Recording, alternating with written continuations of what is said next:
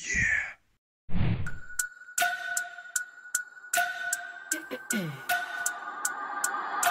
I wake up every minute with a fever dream. I push a mind to a limit where it needs to be. I work like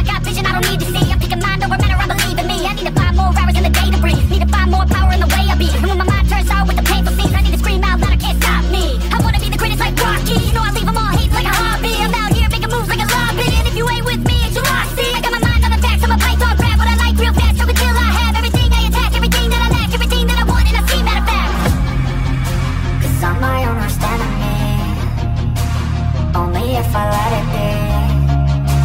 I can control anything if I can just think carefully.